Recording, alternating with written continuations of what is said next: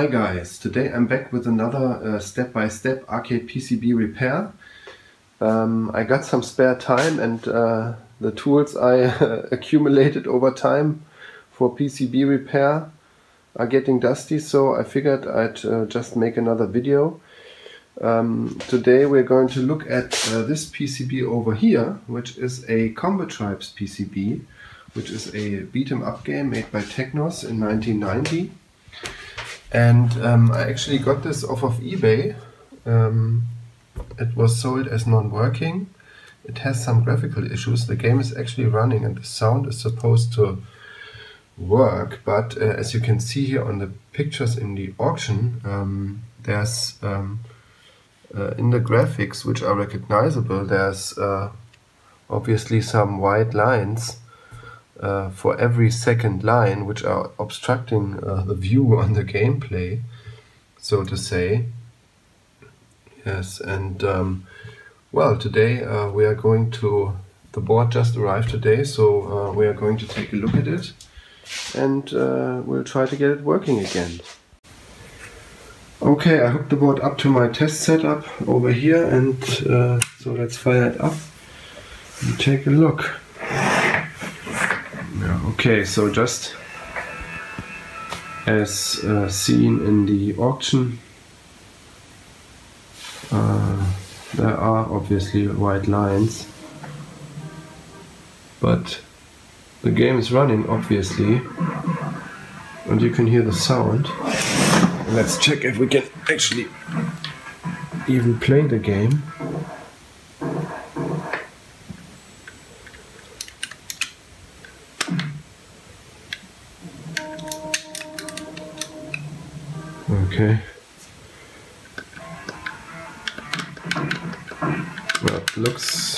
Looks good. Seems to work. Take this. okay, so that's nice. It's everything um, as described. Seems to be working. So let's get to the troubleshooting. Okay, so where do we start uh, our troubleshooting? Uh, well, one problem with this repair, unfortunately, is uh, that there's no um, schematics available for this um, board on the web. It is not uh, impossible to repair um, a PCB if you don't have the schematics, but um, um, actually the schematics make everything uh, much easier and um, make the repair probably more quick. but if you uh, want to, you can actually always, um, practically by looking at the board, um, reconstruct uh, the schematics that are behind it, e either by uh, looking at the parts and following the traces on the board or by doing continuity tests. You could uh, pra practically um, make uh, your own schematics for an, uh, for an unknown board. This, of course, takes time, so uh, we are not going to make a complete set of uh, schematics for the combat board uh, for the purpose of the repair. Uh, so we have to uh, uh, approach the problem in a different way, I'm afraid. So I think what we're going to do is we're going to start at a known point. And uh, if we are, because we are dealing with a video issue, we could actually start at the RGB outputs of the PCB. Because we know where they are, because it's a JAMMA board and uh, it uses the JAMMA standard. So I think actually pins 12 and 13 on the part side are the red and blue color component. We could actually trace where those are coming from on the board most of the time they will be coming from resistor networks, which are used on many arcade games to convert digital RGB data into analog data, which is required for the uh, connection to the monitor. Before the resistor networks, there will probably be some sort of buffers um, connected. Before the buffers, there will probably be some palette RAMs and before the palette there will maybe be some kind of RAM which contains the current uh, screen data and that could be uh, the spot where we have to uh, where we have to go so let's start just uh, by looking at the RGB output uh, uh, on the board, for instance, with an oscilloscope. Okay, so the red and blue um, video signal are coming from 1, 2, 3, 4, 5, 6, 7, 8, 9, 10, 11, 12 and 13, those two. And if you follow the traces on the PCB, you will be getting, sure enough, to those um, uh, three re resistor networks here. And um, as I already said, they are doing the digital to analog conversion. Um, and this is, by the way, this is red, green and blue. Um, you can just follow the traces and see that uh, those uh, resistor networks are for the different colors. I just uh, hooked up the oscilloscope to the um, blue resistor network and uh, looked at the signal. And what do we see? Uh, we actually see what we are also seeing on the screen.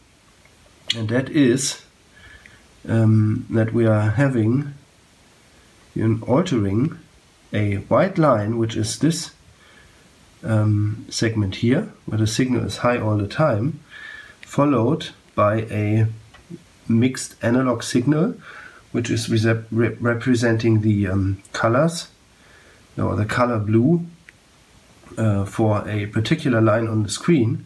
And after that, it's switching to a, a white line again. And if we uh, measure that, um, we can see that the two lines, one white line and one with color, uh, if we are measuring here with the cursor, do result in a frequency of uh, 7.8 kilohertz. That is um, exactly the um, uh, half of the uh, line frequency of 15.6 that we are used to from the regular uh, low-res arcade monitors. So that makes uh, perfect sense. Okay, so if we uh, continue to follow uh, the traces, I actually just did this using my continuity tester because it's uh, very difficult on this board um, to follow the traces. Uh, we can actually see that um, the outputs which are going to those three resistor networks are generated from those two ICs. And those ICs are actually buffers. Um, like in most um, arcade games, it's also the case with this game that um, the resistor networks are fed by some buffers which are deactivated on a vertical retrace of the screen. And um, obviously and um, which are otherwise um, outputting data that is sent to them from the palette RAMs and uh, the palette RAMs um, are actually those two guys over here. Uh, the longer uh, ICs with the uh, 24 legs. Those two are connected to these. So um, we already know a bit about the circuit. Uh, so these are the buffers. This is uh, this is the resist resistor networks. And this is the um, appear to be the palette RAMs so can uh, the failure of the resistor networks the buffers or the palette RAMs be causing the issue no probably not because um, the palette is okay we're seeing the picture it's not a palette issue it is the graphical data that is sent to the palette chips that must be the problem. So we have to trace uh, further back from the palette chips. We have to check where they get the uh, the input from uh, to figure out where the problem actually lies. Um, the output of the palette RAMs is coming through their data lines, of course, and um, the input, which uh, corresponds to the um, color of the pixels on the screen has to go to them through the address lines because the address lines are selecting the entry so or the item so to speak from the palette. So we have to check the address lines of these RAMs and see where they are hook, hooked up to. They will probably be hooked up to the CPU because the CPU will at some point need to be able to fill the palette RAM with a valid palette. Um, otherwise, uh, this uh, thing won't work. These aren't EEPROMs or anything. These are RAMs, so they have to be programmed by the CPU. But also they need to be connected on the address lines to the source of the graphical data. That is uh, the way uh, we are going. Okay, so by uh, further uh, fiddling around with my uh, multimeter um, over here, which uh, I set on continuity, um, I could figure out that these um, palette RAMs are connected to these TTL chips over here, which are, um, no, excuse me, uh, those TTL chips over here, which are all the same type, LS157, which are um, quad input multiplexers. So um, what that means is that there is four inputs coming uh, into these chips and uh, the chi those chips select between the four inputs they are selecting one to forward to the um, to the palette RAM. And um, this is actually pretty familiar because this is how it uh, actually worked on the original Double Dragon. Um, we had this in previous Double Dragon uh, repair videos that I did. The graphic on the screen actually contains of several layers. The background layer, the objects uh, on the screen, which are players and opponents, and also text overlays on the screen. And um, you can think of it as um, independent circuits on the board which are producing uh, the graphics for the background and for the overlays and for the opponents independent from one another. And um, at the end all data is uh, brought together. And for each pixel of course only one thing can be displayed on the screen. So there has to be a decision uh, has to be made uh, which uh, layer goes on top of what other layer. And this is actually what those uh, guys are doing here. They are selecting which of the inputs, which of the uh, three inputs actually, graphical inputs, um, will be sent through for a specific pixel on the screen to the um, palette RAMs to be decoded into RGB values, sent through the buffers, sent uh, through the resistor networks, to be converted to analog RGB values. Okay guys, I had to show you um, again this. this uh, these are my uh, beloved uh, Double Dragon schematics. Uh, and I'm uh, showing them uh, again to you because of the striking similarities to the Combatribes board. Um, we do have the RGB outputs here. We do have the resistor networks. We do have the two buffer chips uh, which are a 273 and a 174, which are exactly the same on the Combatribes board. We do have the RAM chips, which are almost the same. They used um, on Double Dragon, they used one smaller, uh, one bigger uh, RAM chip with eight da data lines and one smaller RAM chip with four data lines because uh, the RGB values only have 12 data lines total. That is the same with this board, but they uh, used two of the bigger ones. Nevertheless, I get I guess those became uh, obsolete in between, uh, just outdated. But uh, really interestingly, uh, you can see down here LS153. Uh, there are five of these, and these are selecting the layers, which are um, background objects and text overlay um, layers it's all the same uh, on the Combatribes board like it is on the Double Dragon. So the five uh, uh, one five three chips mm, are the ones that I've shown you here. This are those five here. So very very very similar architecture so far. Okay, so what does that help us? Where is are we getting at? Uh, well, it's quite easy actually.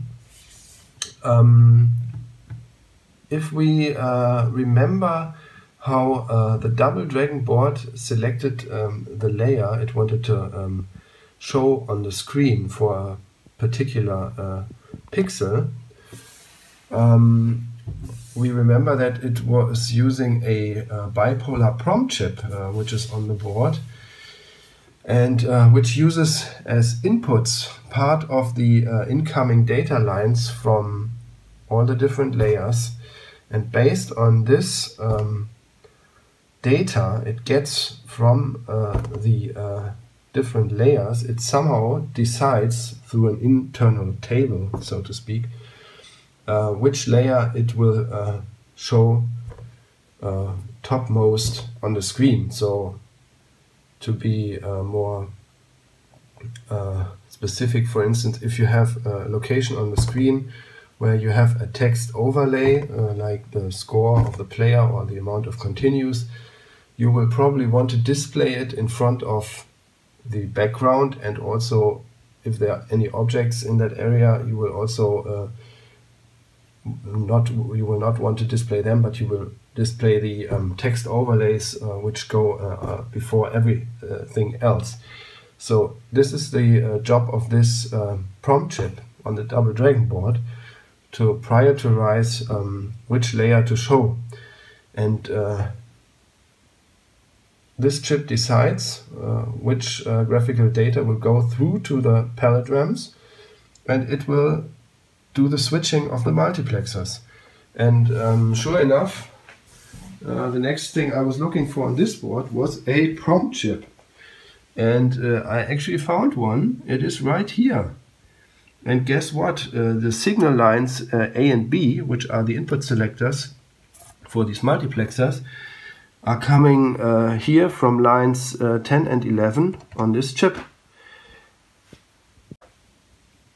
Okay, and the good thing about that is we can remove this chip because it is socketed and we can then manually select which layer of the graphics we want to look at. So we can actually look at only the background, only the uh, objects and only the text overlays uh, on the screen by uh, manually pulling signals uh, low and high on these pins um, 11 and 12. And what is the point of that? Well, of course, we want to find out, uh, we are still um, uh, wanting to find out where our white lines are coming from. And I, uh, I think they are most likely um, coming from um, one of the three layers Maybe they are on the background, maybe they are with the objects, maybe they are with the text overlays. We can't tell at the moment. Somehow they seem to be have a very high priority for the uh, PROM chip to be displayed so that other graphical data that might be there is overwritten. That's at least my guess, but we can verify that um, uh, if we remove the PROM chip uh, from the socket and take a look at the screen and um, manually alter the signal uh, on the lines that are controlling the multiplexers. Well, okay, so here's the game, and if I now, haha, if I now remove the chip, the PROM chip from the socket, guess what? we see the street. And, uh, well, we don't see any characters and we don't see any text overlays or anything. The street is moving a bit because they're probably fighting. But what's uh, the interesting point is that the street looks alright. There's no uh, white lines in the graphics. So the background graphics layer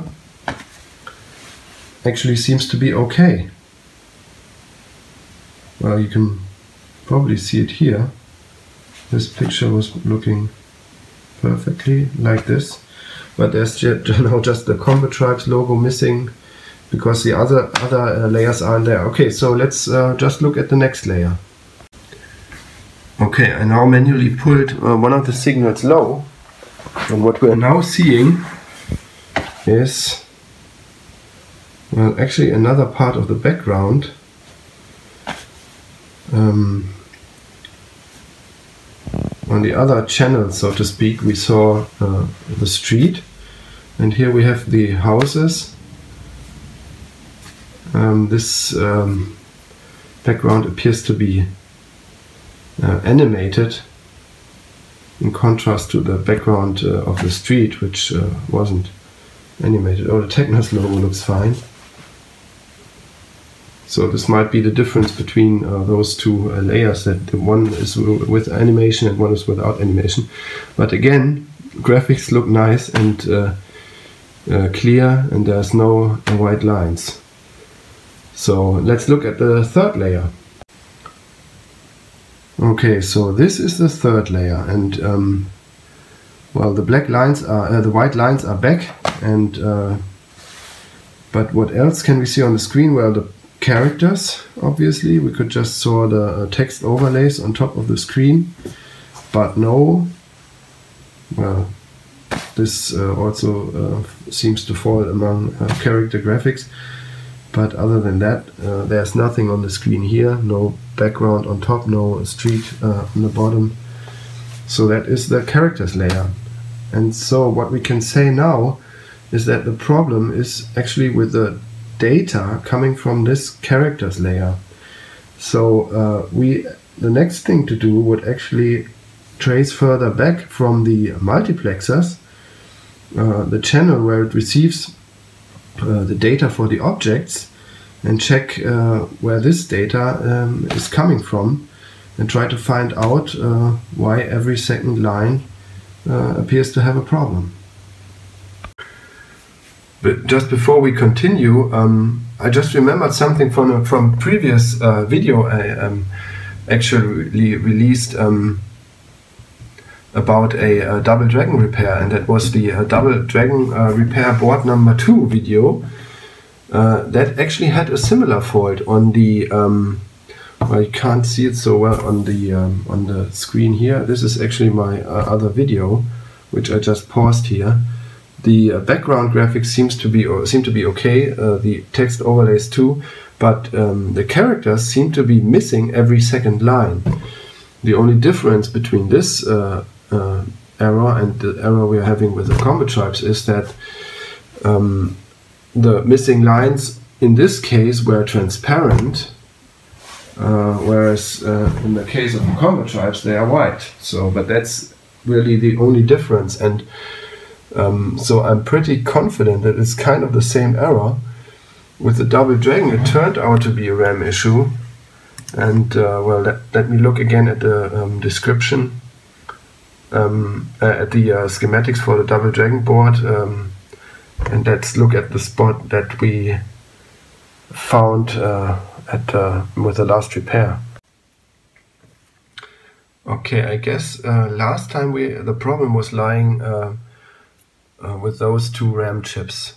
We had discovered in the other video that there's some sort of a dual architecture going on in the circuitry, so everything existed twice and the reason for that was because um, uh, they were toggling between the lines, um, between uh, the two uh, pathways. So one of the pathways was um, activated uh, via a um, via the V1 signal, which came in here, and the other other one was activated via the uh, negative V1 signal. So they were toggling and um, altering.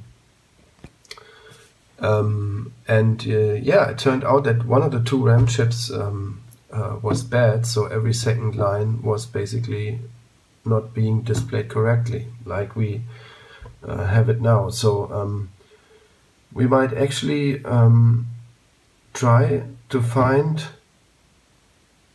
So we could either, I'd say, we could either um, trace uh, further onward from our uh, layer selector multiplexers um, to check where the data is coming from or we could uh, alternatively we could maybe if it is pr a problem with the object layers uh, at the moment also and it's a very similar problem that we had before with the, this other Technos PCB we could also um, maybe try to look for two RAM chips which might be um, um, uh, or situated in a similar fashion uh, like here, uh, circuit-wise, and uh, we could maybe try to identify them via their uh, write signal, because uh, it will probably be the case that while one of the chips is written, the other one is read, and while the other one is written, this one is being read. So they will be toggling. They won't never be, they will never be written at the same time. Um, and uh, they will be most likely toggling with a frequency of 15 kilohertz with their write signals. So they should be actually, if they exist on the Combatribes board, they should be actually be uh, identifiable with this criteria. Okay, by probing around on the board, I actually found two RAM chips which are not even next to each other, but they are sort of um, situated around this uh, custom IC, and uh, they're also next to these uh, EEPROM banks, which might contain the graphical data for the objects. Uh, because this is the biggest EEPROM bank and the graphical objects um, always uh, seem to take up with all the characters and all the phases of animation take uh, tend to take up the most uh, space. So that would make uh, some sense. And um, uh, what I did is I hooked up the two uh, write enable lines to my scope. And this is what we can see on the scope interestingly. Um, those are the two uh, signals from the um, ICs. And I just took a snapshot of the signal. And what uh, we can see here, for instance, uh, up here, is that uh, there's something being written uh, to the RAM. And there's not much activity. And then there's a span where's uh, writing going on practically all the time. And then it's repeating. So, and um, one of those and uh, well, the uh, the the second RAM chip actually does the same thing, but it's all um, you know forwarded for one screen line because this measuring here 15.7 kilohertz this is the width uh, of one screen line. So while uh, this RAM chip is being written with uh, some stuff and then doing nothing for a moment, or at least not being written, uh, the other one is being actually, as it looks, written all the time. And then this switches around. This guy is written all the time, and this gets some data, but then stops uh, writing. Um, so, um, what does that mean? Well, actually, I think, and this is also something that the double dragon board did. Um, when you uh, look at the um, at the time span between those uh, two measuring lines, what is going on is that this uh, RAM uh, IC up here is probably outputting its data and after or uh, no not really after but while it is doing that it is actually also clearing its content that it is uh, that's that's the reason why it's writing uh, uh, intermittently. It's not a continuous signal as you can see if you uh, go closer. But um, it's much uh, rather an alternating signal. So it is uh, being read, and after being read, it is clearing its content. So in, in this time span, the first uh, RAM is actually uh, read and cleared after reading at the same time, while the other RAM chip is being prepared for the next line, which is those actions here. Um, this doesn't require the whole um, time interval for one horizontal line on the screen. Obviously, there's some spare time at the end. Uh, uh, RAM can be filled faster uh, than uh, the, the line uh, uh, needs to be drawn. And after that, it switches. So this RAM has been filled with data, so it can be read afterwards and uh, cleared for the next uh, write cycle, which is coming after that, while the other RAM is being, uh, which has been cleared here, is being prepared for the next line occurring here, and so on and so on. So uh, these signals make perfect sense in the context um, that we have a toggling uh, screen RAM for um, uh, um, for every second line on the screen uh, with the objects. Um, and if we now compare um, those write signals to the RGB output signal that we looked at at the beginning, we should actually be able to say which one of the ICs could be the culprit. because it would be, be the one uh, where while the reading and erasing is going on, the video signal would be you know on maximum level all the time. That would be the one that is the culprit. So let's just hook uh, up one of the write lines of one of the ICs together with one of the RGB signals. Okay, so this is what it uh, looks like. What did I do? I hooked up this RAM on the corner here uh, together with the um, blue output signal and what we can see is that uh, the white lines are actually they are synchronized with the write activity in the RAM which is good. Um, and what we can see is the white lines are occurring at a point in time where the, this RAM chip is being written and not read. So it should not be it can really not be responsible for this um, high signal at that point. So our main suspect should be this guy. Let's uh, just double check and connect uh, uh, this probe to our suspect. Okay so this is more like it. Um, whenever this uh, RAM chip is being read and cleared at the same time, the video signal appears to be high, uh, which is uh, probably incorrect. So this guy should be faulty. Uh, that's actually a very hot lead, I'd say. And uh, to confirm that is, uh, this is truly the case, um, we could actually uh, hook up the RAM chip to my um, logic analyzer. And um, with the logic analyzer we can look at all the address lines, the data lines, the write enable line. And uh, we can uh, check what the chip is doing uh, at all times. And um, therefore we should be able um, to figure out if uh, the RAM chip is actually working and outputting stuff that it has been written to before, or if it is uh, working incorrectly. So I uh, hooked up the logic analyzer to the RAM chip. That always uh, takes a little while, fiddling around with all those cables. And I already uh, took some uh, signal samples.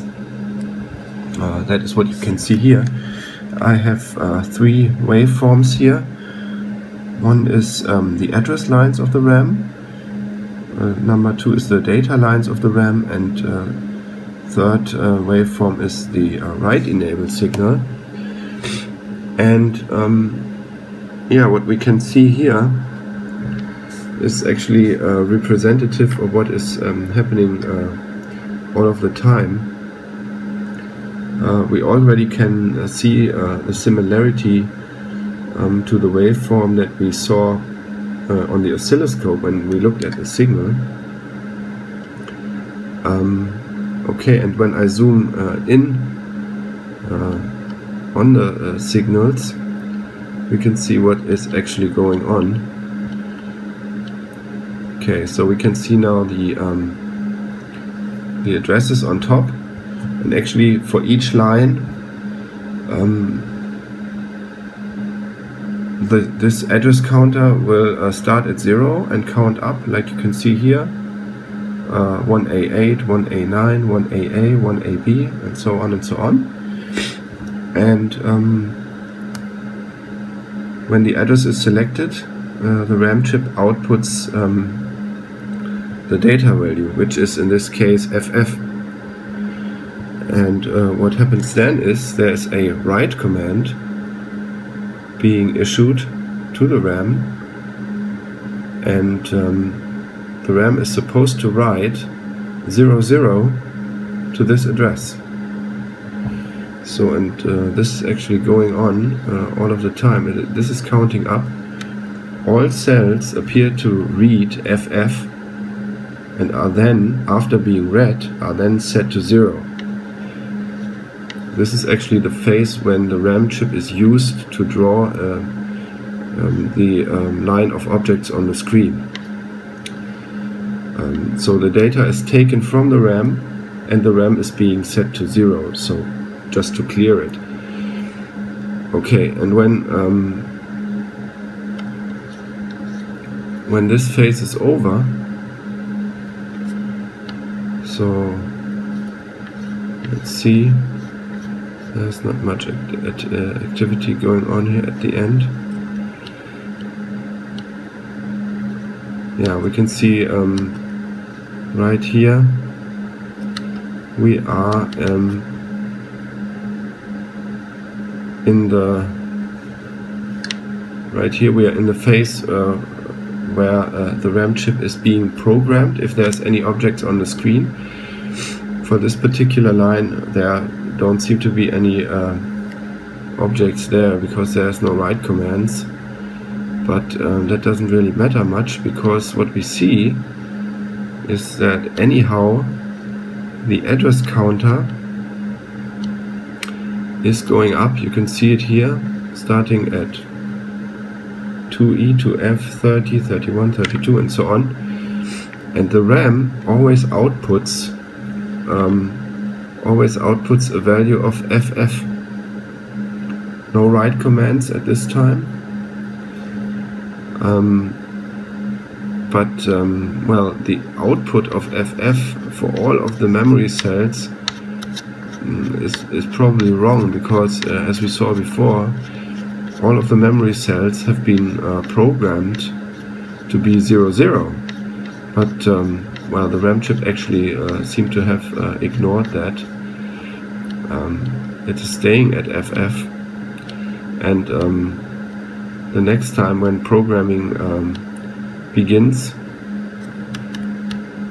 or rather uh, reading the RAM and clearing the cells um, again over here if we zoom into that we can see that um, also here every time a new cell is selected it still um, set the RAM chip still sets the data lines to FF so it is FF all the time no matter uh, what has been written or if it has been uh, or if the RAM has been cleared. Um, the RAM seems to just ignore all the write inputs and uh, stay at FF uh, uh, with the outputs all the time and uh, that's a typical way of a RAM chip to fail actually so I guess this absolutely proves that there's a problem with the RAM chip the signals that are reaching the RAM chip, uh, RAM chip um, seem to make sense and are plausible actually. So I don't think that it is anything surrounding the RAM chip. But uh, right here you can clearly see uh, that the RAM chip uh, itself is malfunctioning. Um, I'm just taking uh, some more samples just to uh, show you um, what uh, the uh, waveforms might look if there's uh, something more going on on the screen actually. Like here. Let's zoom into that uh, we can see that here in the preparation phase um, for the next line there's actually for this particular line there's something more going on than just uh, uh, reading FF uh, and writing zeros. So here the RAM chip is supposed to be written with, with some different values like 1D, um, which uh, also uh, doesn't actually uh, lead to the result that the value is changed as we can see right here because after the period of writing when the counters go up over here uh, is still always FF, no other values. So it's time, I guess, to, um, to get this RAM chip out, put a socket in and uh, look for a replacement. Okay, so uh, now I removed the RAM chip in question, uh, which was this guy over here, and I uh, put a socket in. And uh, I actually just fired up the game to see what happens. And it looks no different without the chip which is actually a good indication of this uh, chip being uh, not much of a helper in this circuit so um, I'm afraid I have to um, order a replacement part uh, somewhere on the web but I'll um, try to get it uh, as fast as I can and then uh, we can try out if the board is working again with a new chip. Okay, now it's a couple of days uh, later and I got this in the mail. I already uh, turned on the game. You can still see the same problem, but uh, I hope that uh, with the RAM chip that is hopefully in this package that we can fix the board. Mm -hmm. Okay, it looks to be the right one.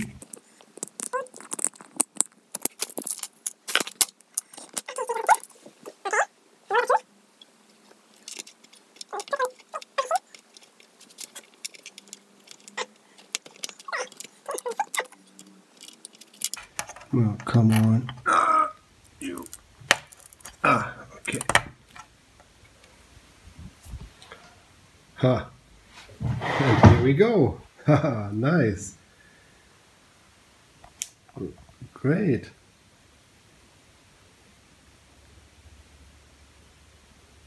Very good. So we actually fixed the game. So with a really minor part and uh, an overall um, uh, cheap board that we uh, got as not working, I think we uh, got a great uh, result. Okay, so thank you very much for uh, watching. I hope this video, video uh, wasn't too boring overall because it turned it turns out to be pretty pretty lengthy, I guess. But um, I hope, of course, that uh, this uh, video serves uh, as an example that can help you with your own arcade PCB repairs. And uh, if you liked the video, uh, please hit the uh, subscribe button. I'll be back with more arcade related repairs, hopefully very soon. So thanks again and bye bye.